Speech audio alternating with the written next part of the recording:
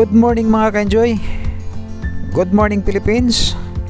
At good morning sa lahat ng mga Pilipino sa buong mundo.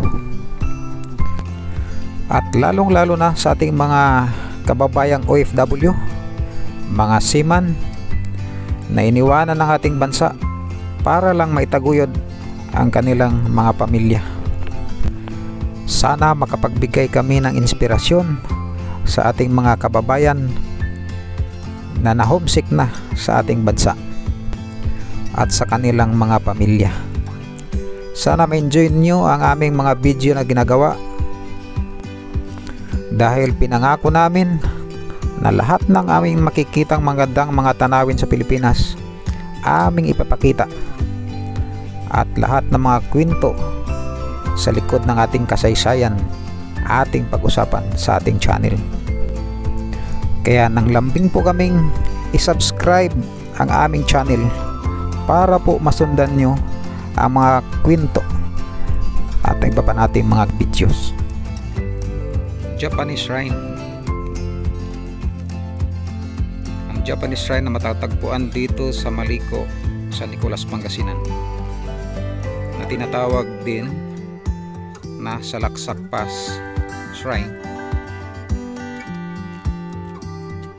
Salaksak Pass erected in memory, of those soldiers of the Philippines, Japan and the United States of America who sacrificed their lives here during World War II between February and June 1945. 4,600 Japanese died and 3,200 American died or were wounded and many Filipino inhabitants, inhabitants died in the vicinity of this pass. Yan, sa Laksak Pass. Pero sa ating information, itong lugar na ito, hindi ito ang salaksak. Ang lugar na ito, ayon sa ating nakausap na original na taga dito. Itong lugar na ito, ang tawag dito maabat. Ito itong mga village na ito. Maabat. Hindi po ito ang salaksak. Ang salaksak yun pong nasa yun nasa dulo yung sa Kiang Diduntog sa baba ng Kiang Diduntog yan sa right side natin. Yan ang totoong salaksak. Ang Santa Rosa ngayon Santa Rosa ang dating uh, Salaksak Barangay Salaksak. At sa yung kaliwa naman natin yung dinadaanan ng kalsadang bago yung sa may Sherman Tank yun naman ang Villa Verde Trail. Ngayon ating himay-himayin ang kasaysayan at kwento sa likod nitong Salaksak Pass Shrine or the story behind the Salaksak Pass Shrine kaya tinatawag na Japanese shrine ang shrine na ito dahil ito'y pinatayo ng mga Hapon bilang halaala sa mga sundalong Hapon na nagbuwis ng buhay sa lugar na ito. Estimated at least 5,750 died out of 8,750 na defenders ng mga Hapon sa lugar na ito. Ibig sabihin, 3,000 lamang ang nakaligtas na mga Hapones na nakaatras papuntang Bambang, Nueva Vizcaya. At ang mga sundalong Amerikano naman galing sa 32nd Division sa pamumuno ni General William H. Hill mayroong 825 ang namatay at mayroong 2,160 na mga sugatan. At 6,000 ginamot mga may sakit at yung mga tinatawag na kumpat patig maliban sa mga Amerikano mayroon ding 225 na Pilipino at mahigit isang libong sugatan ng mga Pilipinong sundalo.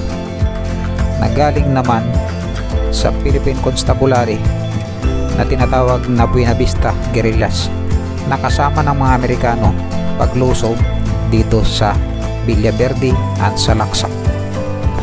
Ayon sa kasaysayan, January 9, 1945, nung naglanding si General Douglas MacArthur sa Lingayen, tapos ang punteriya niya ang Metro Manila. Pagdating ng February, nilusok nila ang Maynila. Kaya lang nalaman nila na ang malaking grupo pala ng mga sundalong mga Hapon umatras na pa Cordillera kasi ang ito ang nasa plano ni uh, Tomoyuki Yamashita na dalhin ang gira sa kabundukan sa kagubatan ng Cordillera kaya lang may mga hapon na matigas sa pamumuno ni Rear Admiral Sanji Iwabuchi sa uh, Japanese Imperial Navy. At mayroon ding mga mahigit kumulang 4,500 na mga Japanese Imperial Army ang sumanib dito kay uh, Rear Admiral Iwabuchi. Ayaw ni General Yamashita na harapin ang mga Amerikano dito sa Metro Manila dahil ayaw niya madamay ang mga sibilyan yan ang kabaitan ni General Yamashita kaya lang itong si Iwabuchi dahil ito siguro sa pagkatalo niya sa Guadalcanal. Ang galit nito sa Amerika sobrang sobra. Kaya nagdesisyon itong kakalabanin ang mga Amerikano dito mismo sa Manila. Nung umatras na si Yamashita dito sa Cordillera gumawa siya ng triangle defense ito ang Bisang Pass sa Cervantes sa La Union tapos itong Dalton Pass or Baliti Pass dito sa Santa Fe, Nueva Vizcaya. At saka itong Salaksak Pass or uh, Villa Verde Trail Pass dito sa San Nicolas, Pangasinan. Kalagitnaan ng gera ng Manila. Uh, pinadala ni Douglas MacArthur itong 32nd Division sa pamumuno ni William H. Hale ang tinatawag na The Red Arrow Army o The Red Arrow Division kasama ang mga Pilipinong constabulary at tinatawag na Buena Vista Guerrillas pinadala sila ang inatasang lusobin itong salaksak at Verde Trail Pass. Itong Salaksak Pass, hinati ng dalawa. Itong nasa harap natin, ito yung Barangay Santa Rosa, Santa Pina Vizcaya. Ito yung tinatawag na Salaksak Pass 2. Dito umatras yung mga hapon at dito gumawa ng mga kuweba. Ito naman, ito yung Belia Verde Trail. Ito ang tinatawag na Salakpa, Salaksak Pass 1 o tingnan nyo naman gaano kalalim yung mga bangin na ito. Paano di mahirapan ang mga Amerikanong umakyat sa mga bundok nito? Nandito sa bandang mga ibabaw nandito yung mga hapon nagbantay. Di ba? Napakahirap.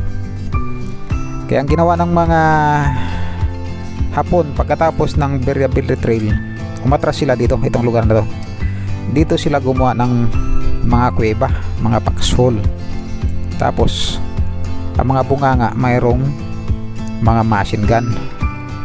Kaya maraming casualties. Ang mga Amerikano sa lugar na ito. Dito nahirapan ang mga sundalong Amerikano. Dahil ginawa na nilang lahat. Ginawa sila ginawa na nila yung mga planking maneuver ang tinatawag na halos paikutan nila yung gusto lang maikutan yung mga sundalong Hapon. Kaya lang sa ganda ng pwesto ng mga hapon dito sa mga tuktok ng mga bundok na to sa kasalalim ng bangin hindi pa sila makakayat sa mga bangin uh, sinasalubong na sila ng mga machine gun na nasa mga butas ng mga kuweba. Kaya ginawa na nila pati yung umulan ng panahon maputik ginawa na nila yung nabalot na ng pugs dahil itong lugar na ito may panahon dito na talagang saradong sarado ng pags wala ka na halos makikita kahit hanggang ngayon Ah, ganun pa rin dito sa Maliko. Kaya dito nahirapan sila kaya umabot ng ah, 825 yung casualties ng mga Amerikano sa pag-agaw dito sa Salaksak Pass. May 28 naagaw ng mga Amerikano ang Salaksak Pass. May 29, 1945 naagaw naman nila sa kabila ang Dalton Pass or Baliti Pass. Kaya May 31, 1945 ah, maluwag na yung daanan ng mga Amerikano papuntang Cagayan Valley dahil ito lang yung pinakamasikip na lugar papunta sa kabilang bali ng Luzon ito yung nakaharang sa dalawang kapatagan ng Nueva Ecija at saka Nueva Vizcaya. Ito yung Caraballo Mountains na nakasakop sa Maliko Ranges pinaka southmost ng Cordillera. At ang dulo naman dito doon naman sa Karanglan papunta naman ng Sierra Madre. Ito yung kabundukan nagpahiwalay sa kapatagan ng Luzon. Kaya dito nilagay ni General Tomoyoki Yamashita ang dalawang line of defense niya para maharangan siya sa kinalagyan niya sa Ipugaw. Yan mga ka-enjoy at sana nagustuhan nyo ang ating kwento. At kung nagustuhan nyo ang ating kwento nang lambing po kami subscribe nyo ang aming channel para may patuloy natin ang pagtukla sa magandang lugar mga magandang uh, mga site ng ating mga kasaysayan na naging salamin sa ating kinabukasan bilang mga Pilipino. Lalo na ngayon alam naman natin na tumikit na naman tayo sa Amerika.